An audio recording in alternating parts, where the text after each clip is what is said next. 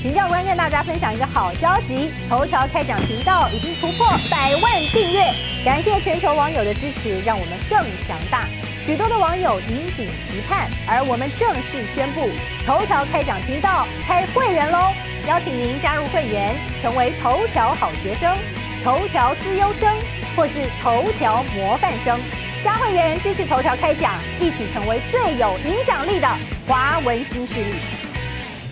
这次美国如果拜登按照他的承诺，每个月啊每一天一百万桶，对，六个月，对，哦，那有一点八亿，可他的存油只剩下三亿多万桶，嗯，哦，那三亿多的话，对于美国来讲，他就没有安全感了。是，那问题就在于他的石油公司能不能增产？对呀、那问题就在于现在的油价这么好，他为什么要增产？哦，那我自己增产把油价拉下来，嗯，那我为什么要做这个事？对，因为油价这么高，我也就是说，我用同样的一瓶的的东西，我能够，例如说，我本来十几块，现在已经可以卖到一百多块钱，那我为什么要再多做两瓶，然后让它变成八十块？嗯，是，那我我到底赚了还是不赚？他觉得反正这个我还能够撑一点，我就撑一点。哦，那如果说造成的这个通货膨胀，那他会去计算，对我油商来讲，通货膨胀我的损失跟整个国家的损失是不一样的。嗯，那就如果是在商言商来讲，那对于油商来说，哎，好不容易有这么一个这么好的一个价钱，而且前段时间油价低的也也也也有一段时间了嘛。对因为疫情来的时候，那时候油价也很低嘛。好，那现在对于油商来讲的话，就利用这一波把它赚回来。可是问题就在于，人民要过苦日子。对，那因为物价一直在涨，对啊。而且油是最基本，能源是最基本的。是是能源它不只是用来交通运输工具，可它本身也用来发电，是，而且它本身也跟塑化工具有关系。那你跟这些都有连带关系的话，你想想看我们有多少产品都跟塑化有关，都跟塑胶化学有关嘛？那我们有这么多的产品跟这个有关，又跟油有关，又跟发电有关。那如果他们一涨的话，那是不是万物齐涨？对万物齐涨。如果你的薪水就是不涨，那怎么办？嗯哼。那现在的情况哦，欧美的国家因为他们的工会力量还是强大，是，所以他们基本上来讲，政府会调薪，或者是企业会调薪。可是我觉得亚洲的国家，特别是我们台湾，台湾来讲的话，我们的企业很硬哦。台湾的办公体基本上还是在代工的一个阶段，当然我们的代工已经是很特殊的，所以它才具有不可或缺性。嗯，但是问题就是说，你还是代工，所以你的整个环节中哪一个地方被切断的话，其实你看起来很强大，其实也是很脆弱。哦，我们自己可以把自己说的很强大了，是但事实上还是很脆弱，因为你是代工。嗯哦，所以你你光刻机你也做不出来。嗯那当然现在是因为依靠美国的保护，所以荷兰还是提供给你光刻机。是那美国没有伸出制裁之手，把你光刻机断了。嗯。然后你的原料还是可以从日本过来。嗯那因为你也不会去得罪日本。嗯啊，日本也没有伸出制裁之手来断你的原料。那例如说日本曾经伸出这个制裁之手去断了韩国的原料，让韩国的半导体受到重挫嘛。所以你其实我们从这个角度就可以看到，台湾虽然说半导体很强，可是你是代工嘛。哦，那你中间任何一个环节，它都可以把你断掉。好，我觉得在这个部分里面，有的时候我们要知道我们的长处在哪里，也要知道我们的短板在哪里。那短板中就构成你像韩国，我们要再强调了，韩国跟日本在吵架的时候，日本一样可以使出杀手锏，韩国也可以使出杀手锏嘛哎。但是重点就在于说，这次的印太的经济框架，对，它到底是以经济为目的，促进整个框架内的成员国的繁荣，还是以政治为目的，要遏制中国大陆的发展？哦，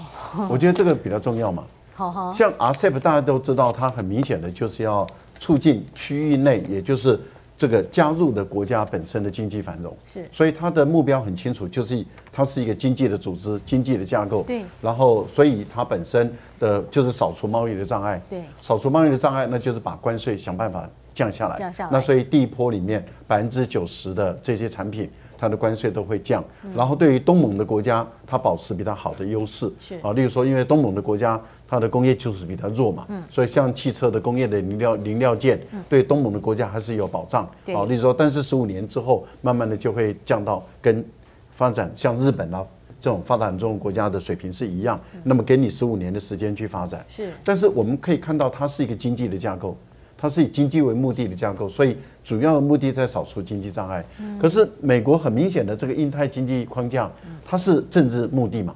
政治目的就是要遏制中国的发展，所以他谈到了供应链的问题。但是问题就在于，在供应链中，中国是不是不可或缺的？嗯，那如果说我美国的目的是要打压你中国的发展，我要单独的在另外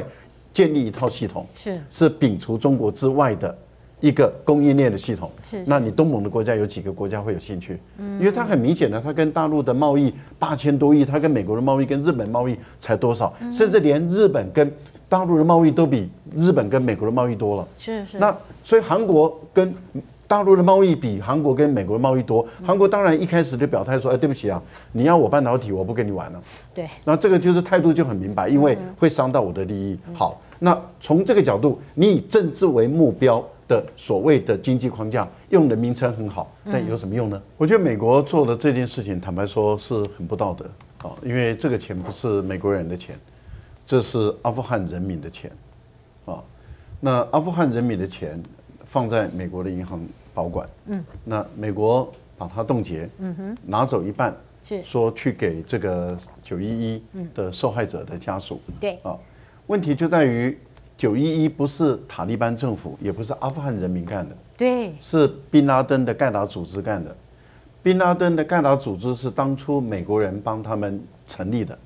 设置的这样的一个组织，而这个组织的成员的头目是美国专门去培养训练的，所以美国他们专门培养训练这样的一些成员，给予装备、给予武器、给予组织，然后把他送到阿富汗里面去跟前苏联作战。嗯那打得很不错，所以就授给他一个圣战士的这样的一个封号。嗯哦，授给他圣战士的封号，等到苏联崩解了。跑掉了，然后这个组织说我们也不希望美国人留在这里，嗯，所以他从这个圣战士转变成为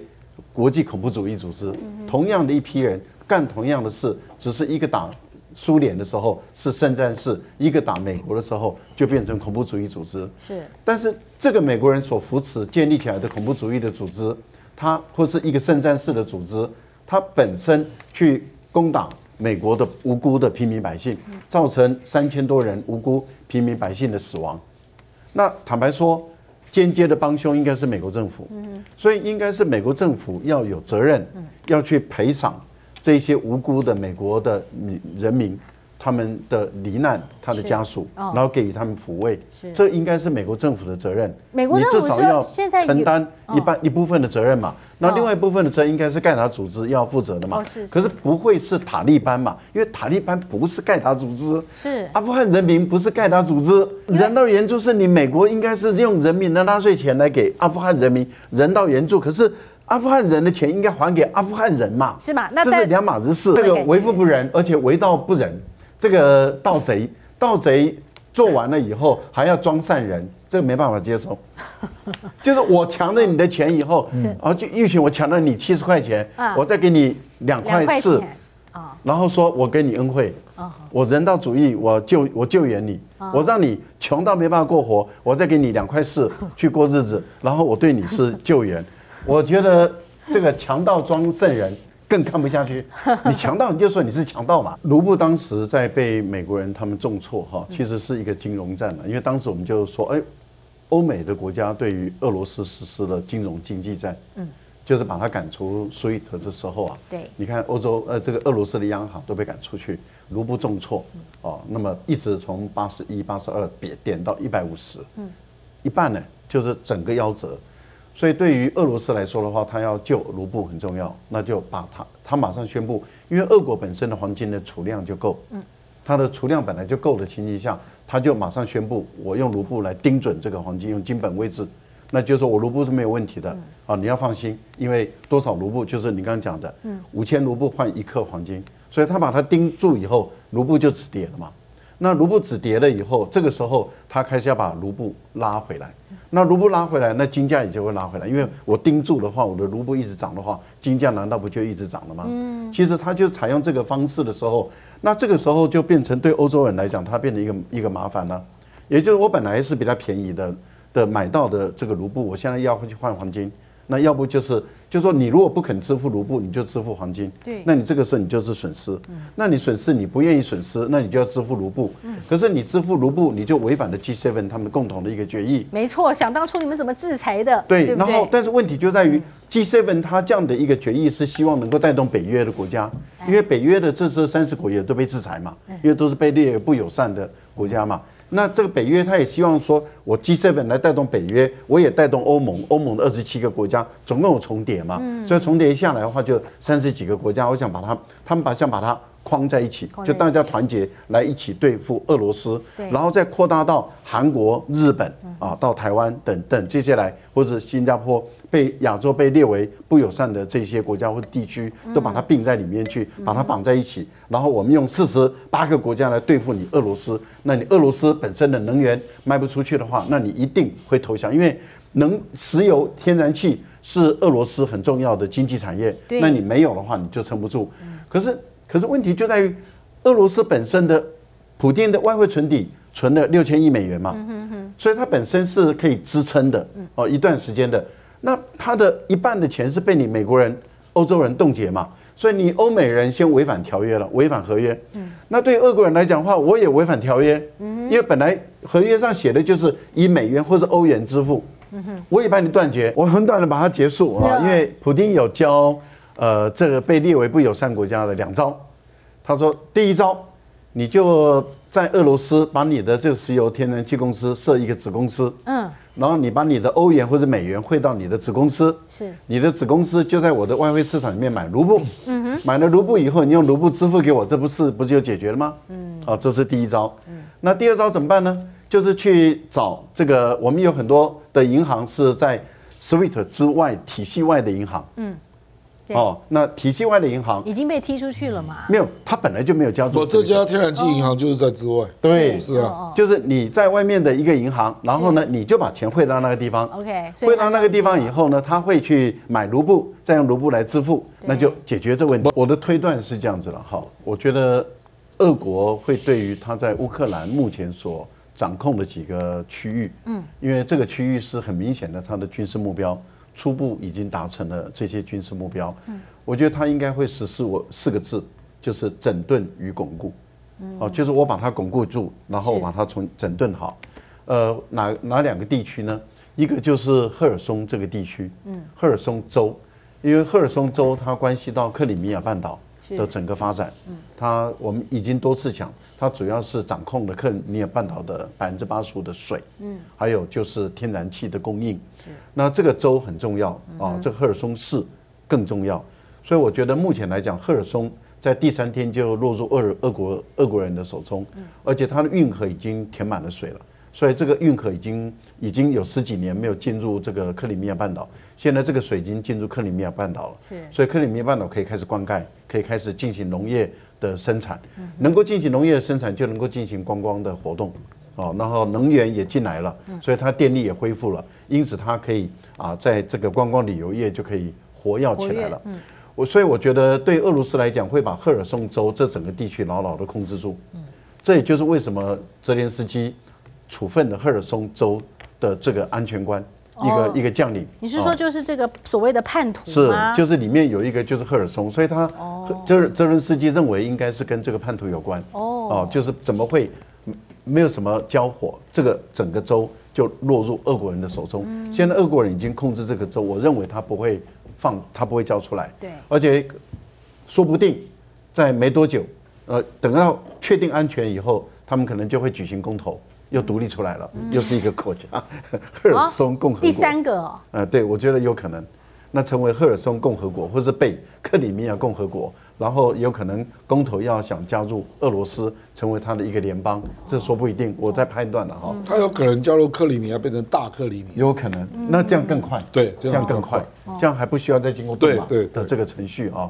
那另外一个部分里面就是这个顿巴斯地区的两个共和国，所以这个马里乌波尔是一定要拿下来了。